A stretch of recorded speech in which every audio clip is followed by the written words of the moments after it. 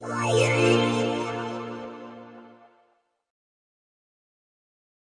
everyone, in this video I'll be showing you how to rebuild your iTunes library from your iPod, iPhone, or iPad in one click using iSkysoft iTransfer. There are a couple reasons of why you might want to rebuild your iTunes library. For one, iTunes can be really bulky and slow and sometimes crash.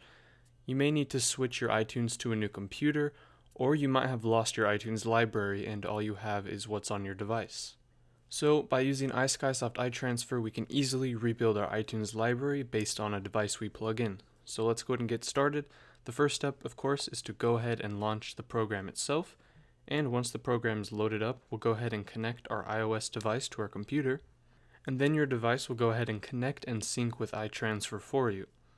So now all we have to do is go ahead and click on Rebuild iTunes Library, just a one click button, and it's going to bring up a dialog that says copy media from your iOS device to your iTunes library, and it will also auto detect different types of files on your device. So we'll go ahead and click on start to get started.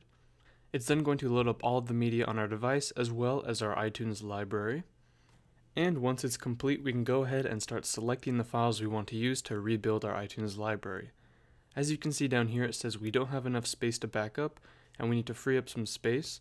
So instead of doing that, we're just going to deselect the big chunk here because it does tell us how much space each of these take up, in this case 8.25 gigabytes. So I'll go ahead and start deselecting the media that I don't want. And here I've got these podcasts here that I want to get rebuilt into my iTunes library.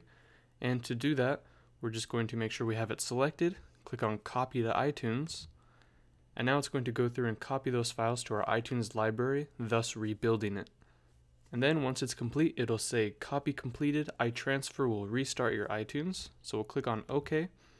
And now it's going to go ahead and restart iTunes for us. And now we've successfully transferred the files from our device into our iTunes library. And once we're done, we'll just click on complete. And of course, if you have any more files you want to rebuild into your library, you can just go back and click on the button and go through the prompts. But that is it for this video. I hope you guys enjoyed. That's how you rebuild your iTunes library from your iPod, iPhone, or iPad in one click using iSkysoft iTransfer.